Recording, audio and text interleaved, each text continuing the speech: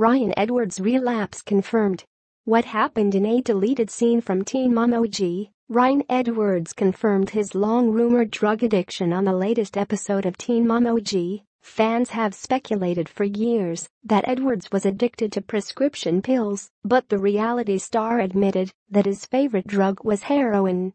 Although Edwards completed a stint in rehab this year, a recent video has fans worried that he's already relapsed.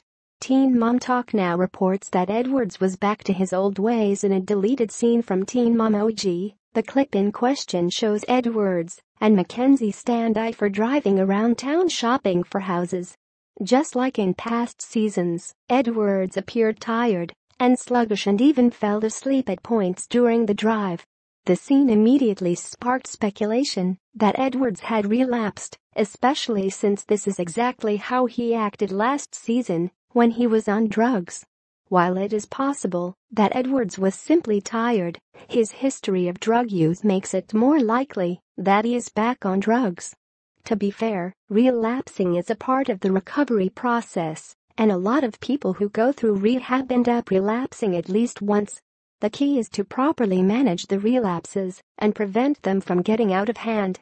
Another solution is to enroll in rehab for an extended amount of time which can help eliminate relapses.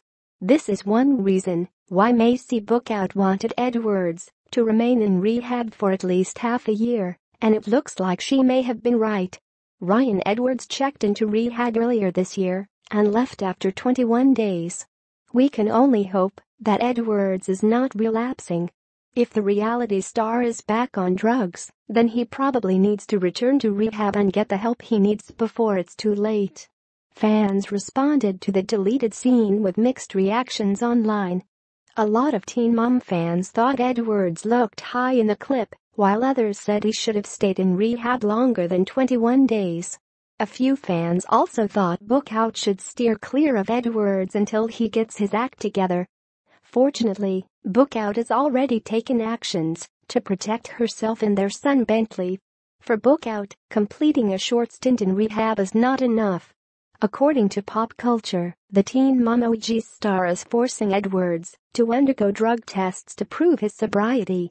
If Edwards refuses to take the test or fails it, then Bookout will not allow him to visit their son, Bentley.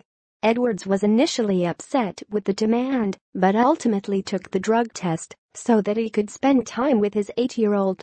An inside source claims that Edwards passed the drug test and that he has been sober for around seven months.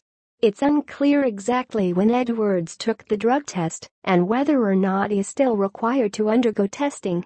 Edwards has not commented on the relapse rumors